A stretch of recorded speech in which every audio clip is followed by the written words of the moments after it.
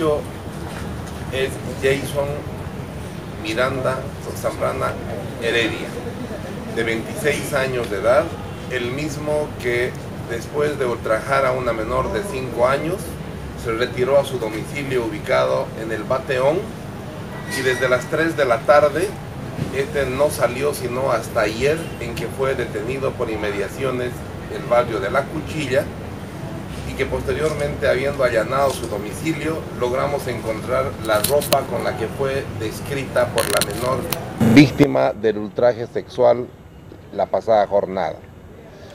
Además, este mismo sujeto es autor de otra violación producida en el mes de abril en la misma zona de la Guardia donde se realiza un, un identikit. En esta oportunidad hemos colectado valiosa información que se traduce en evidencia que puesta de manifiesto en el laboratorio nos darán mayores resultados. Lo importante de esto es de que el vehículo también ha sido secuestrado y las pruebas de luminiscencia y de laboratorio en ADN nos permitirán también contar con elementos científicos a la hora de demostrar a la autoridad judicial. La declaración del sujeto establece su participación en tres hechos de violación a menores de 5 años en la ciudad de La Guardia por el Plan 3000 y en este momento un otro caso que está ingresando cuya madre al verlo en, las cámaras de televisión está formulando denuncia y ese conocimiento también será sometido a proceso investigativo. Terminamos eh, con las investigaciones en función del análisis que hagamos de, de, los anteriores, de los anteriores hechos delictivos que involucran la muerte de dos menores de edad de la misma, eh, con las mismas características. Simplemente. Eh, la persona ha sido identificada como Jason Zambrana Heredia eh, él es natural de La Paz, tiene 26 años de edad y reside hace varios años acá en Santa Cruz. Este señor ha sido aprendido en inmediaciones del barrio La Cuchilla, en nuestra capital. Pero adicionalmente se ha podido establecer que este, este mismo sujeto había cometido una violación que igualmente causó connotación pública en fecha 4 de abril en el mismo municipio de La Guardia.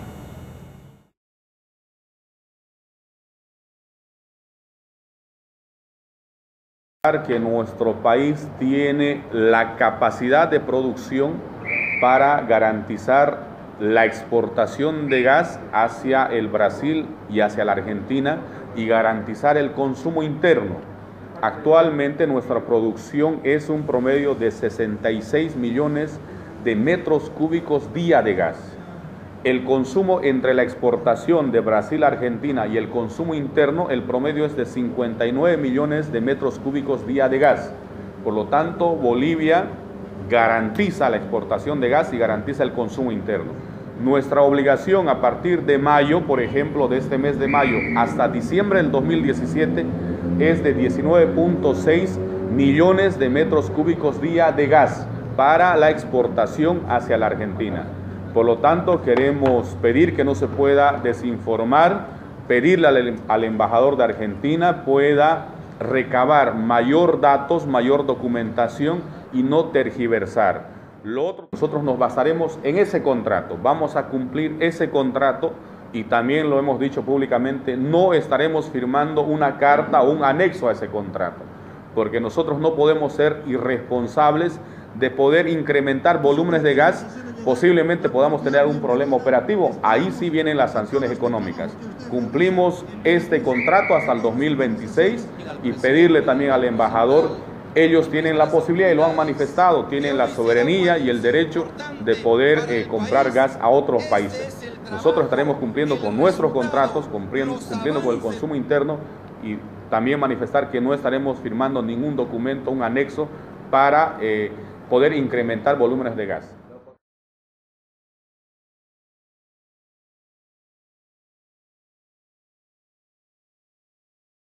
Bolivia debería producir actualmente 64 millones de metros cúbicos día para satisfacer tanto el mercado interno como el mercado externo.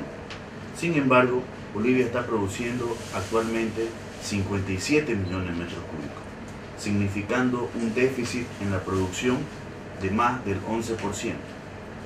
La prioridad nacional es el mercado interno, así lo indica la ley 3058.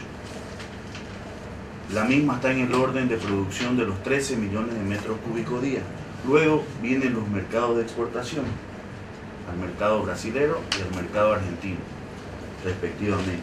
Al Brasil se debe entregar actualmente, según contrato, 30 millones de metros cúbicos día, de los cuales solo se está entregando 28 millones de metros cúbicos. Mientras que a la Argentina se debe entregar por época de invierno, que es más alto el consumo, según contrato 21 millones de metros cúbicos y se está entregando 16.6. Esta diferencia en la producción, al no vender, al no poder producir este gas, no podemos comercializarlo y hay una diferencia económica que representa una pérdida económica mensual para el país de 142 millones de bolivianos por mes, no se Para las gobernaciones, para todo el conjunto de las nueve gobernaciones, representa una pérdida de 21 millones de bolivianos mensuales. Para los municipios, 17 millones de bolivianos y para las universidades, 3 millones de bolivianos. Esto demuestra la falta de planificación y manejo irresponsable del gobierno central con nuestros recursos naturales que son los hidrocarburos. Bolivia depende altamente de las ventas de hidrocarburos, aunque estas están pasando uno de sus peores momentos por la caída del precio del petróleo. Eh, el hecho de que Argentina tenga que abastecerse incluso a un precio mayor desde Chile. Chile no es un productor, Chile es un receptor de gas eh, que viene desde el mercado libre. Debería ser una llamada de atención, definitivamente, eh, para las eh, personas que tienen que ver con el tema, porque si hay algo que nosotros tenemos que em, garantizar es que somos un país confiable, que somos un país que cumple sus compromisos, que se programa y se proyecta, como siempre se ha dicho, como un centro energético distribuidor en Sudamérica. Pero para ello hay que hacer tres cosas. Hay que explorar, hay que explotar y hay que planificar las ventas para que no se den situaciones como esta. Es el segundo mercado más importante al que exportamos, Brasil es el primero, eh, Argentina el segundo, ahora ha bajado la importancia en términos relativos, no hay que olvidar que desde el año pasado, por el derrumbe del precio del petróleo, eh, las exportaciones no tradicionales eh, han superado al total de las exportaciones de hidrocarburos y también de minerales, lo que también ha ocurrido hasta marzo del presente año según datos oficiales.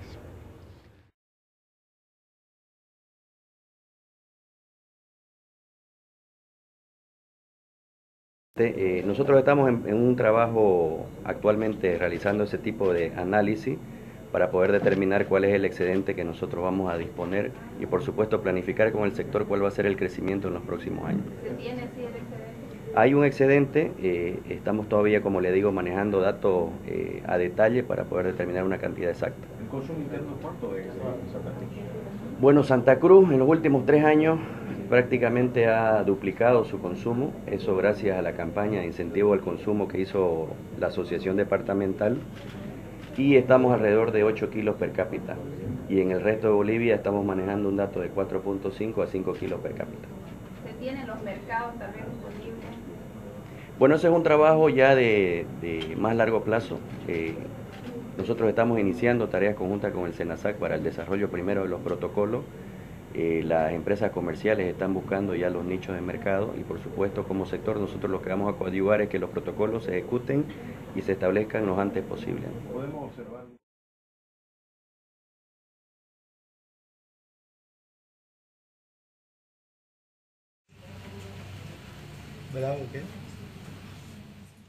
En esta oportunidad, el trabajo que ha realizado particularmente el sector porcino en Santa Cruz. En los últimos 10 años, el sector porcino en Santa Cruz ha duplicado su eh, capacidad de producción eh, a lo largo del departamento. El censo ha arrojado los siguientes datos que también son fundamentales. El departamento de Santa Cruz hoy cuenta con 3.341 machos reproductores, 37.336 vientres, haciendo un total de 443.102 eh, la población porcina en su conjunto. Este censo va a permitir justamente delinear y proponer planes específicos de vigilancia, epidemiología, atención de condiciones sanitarias, campañas de información sobre medidas de bioseguridad y buenas prácticas. En síntesis, nos permitirá delinear políticas y estratégicas y estrategias tendientes a mejorar el estatus sanitario a nivel departamental y de esta manera eliminar la barrera sanitaria para acceder a nuevos mercados. Para participar en la entrega de un importante trabajo que ha efectuado la gobernación. Para la Cámara Agropecuaria del Oriente, quiero manifestarles que representa un aporte importantísimo al conocimiento de este sector en su verdadera dimensión toda vez que nos permite planificar medidas estratégicas para un mejor desarrollo y crecimiento del sector porcino. Valoramos mucho y agradecemos el esfuerzo de la gobernación por la realización de este gran trabajo. Sin información, sin una información precisa, es muy difícil establecer pautas de desarrollo y plantear soluciones correctas a los distintos problemas que aqueja al sector. A tiempo de resaltar este trabajo de la gobernación, solicitamos, aprovecho la oportunidad para que por intermedio de las autoridades que están aquí de la gobernación le hagan llegar al gobernador, primero nuestro más sincero agradecimiento y felicitación por este trabajo. El censo porcino 2016 para el sector por parte del gobierno departamental y que podamos nosotros continuar llevando adelante este trabajo conjunto. Muchas felicidades. Muchas gracias.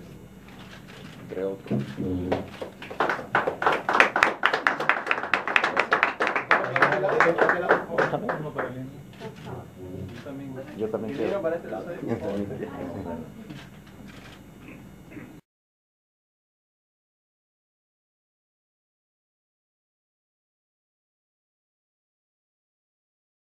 Los animalistas no nos oponemos a la eutanasia humanitaria. Nosotros nos opusimos a que alguna vez hayan destrozado la cabeza de los animales para matarlos.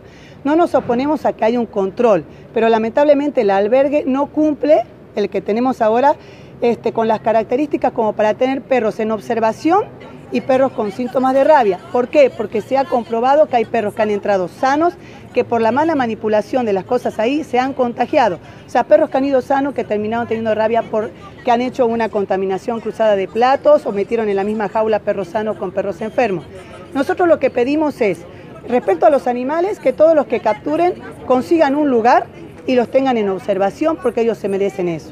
Con respecto a la población, que los cuiden, que no los dejen afuera, tenemos que aprender a ser más responsables. El animal es para estar en la casa, no en la calle, que se le pongan todas las vacunas y si no tienen el poder de tener un perro y vacunarlo, tengan un peluche, pero no tengan un animal.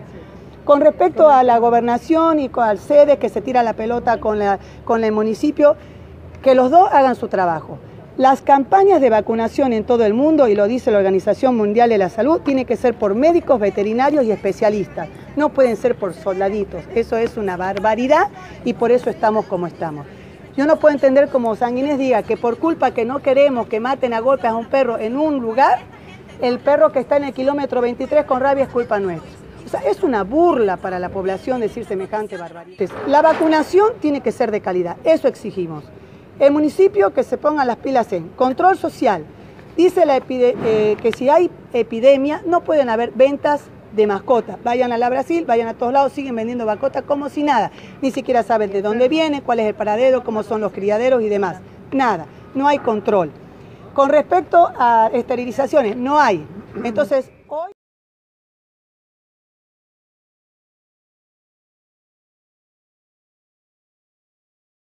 queremos demostrar que la corrupción institucionalizada se campea por todo el gobierno. Esta es una muestra más que hace seis meses atrás un alcalde demócrata denunció la corrupción en Dircavi y recién después de seis meses han procedido a la destitución, a la destitución, pero no han procedido a la citación de esta señora a la fiscalía para que aclare todos los hechos de corrupción.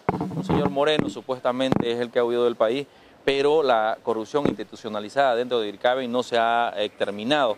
Nosotros creemos de que se debe investigar más a profundidad la corrupción que existe en las diferentes áreas de, todo el gobierno que se están eh, saliendo y se están desbordando por todos lados y esto es una muestra más que este gobierno no está trabajando dentro de los parámetros de transparencia y honestidad que debería haber. Estamos hablando de la directora nacional de DIRCAVI, que es justamente la que ha caído hoy en día, pero la corrupción no es solamente en Santa Cruz, la corrupción es en todo el país se ha dado en todos los puntos fronterizos y la la demás, en las demás partes del país, donde tiene que aclararse y tiene que procesarse a, los culpables. Se está esperando de que haga una auditoría, pero lo que criticamos nosotros es que no pueden ser juez y parte eh, los mismos del Ministerio de Gobierno, si los mismos del Ministerio de Gobierno son los que han metido a la gente de IRCABE, ¿cómo es que ellos mismos lo van a procesar o lo van a investigar? Es un absurdo, tiene que ser un ente paralelo o, o externo.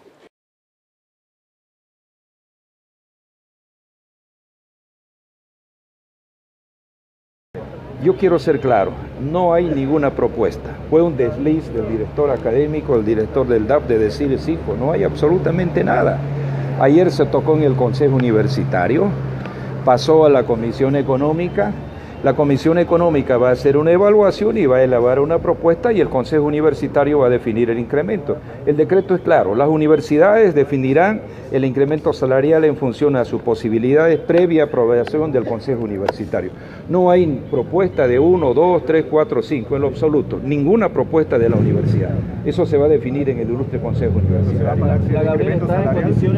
Por eso se va a hacer una evaluación y el Consejo Universitario va a definir cuál va a ser el porcentaje. Del no, no, no, no, no, reitero, no es potestad del rector. Dice claramente el Consejo Universitario, previa evaluación, la Comisión Económica va a definir, va a hacer una sugerencia y el Consejo Universitario va a definir Pero el, el 7% es sostenible para No, no, por eso, reitero, no, no, va a haber una evaluación económica, técnica. No es el rector, el rector no conoce esos temas a profundidad. Es la, Comisión Económica la que va a evaluar y va a hacer una sugerencia al Consejo Universitario y allá se define el porcentaje. ¿Se va a pagar el incremento a los trabajadores? Por, por supuesto que va a haber incremento. Esta es la universidad que tiene los mejores salarios de Bolivia. Y yo siempre he apoyado al profesor universitario, ¿no? Estamos en esa línea. ¿Cuántos trabajadores tiene la universidad, por favor? ¿Perdón? ¿Cuántos trabajadores? Tiene aproximadamente unos 1.600 trabajadores, cerca de unos 2.000 profesores.